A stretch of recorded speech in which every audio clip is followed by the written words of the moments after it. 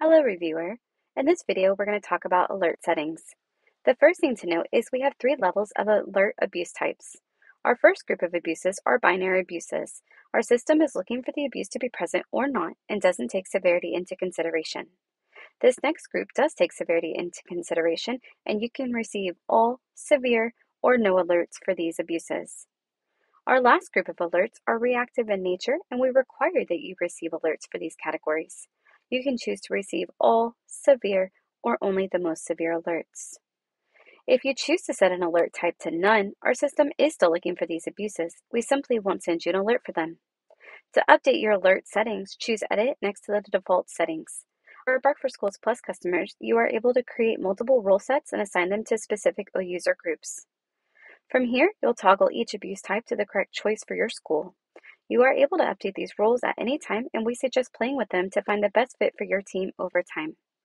Now let's look at a couple of examples together. If you were to receive alerts for anxiety, you would be able to get this student help before their thoughts escalated further. In this case, let's say that they have escalated.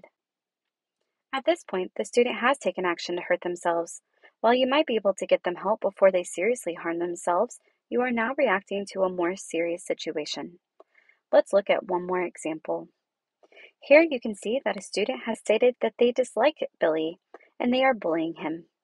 If you receive alerts for bullying, you can try to mediate this situation prior to it escalating further.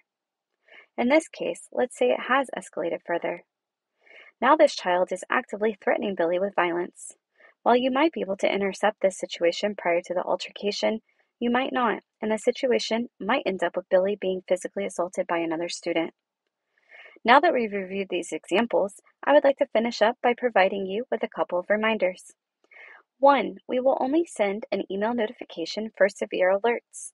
All other alerts will be added to your dashboard to be reviewed whenever you get a moment. Two, we suggest putting together a team to review alerts and not leave it all to one or two people. The more categories you allow, the more alerts you will receive. When you only allow severe and most severe alerts, you will receive less alerts overall, but you likely won't get to the root of the issue prior to them escalating to a more extreme level. If you have any additional questions, please reach out to our support team at schools at bark.us for further support.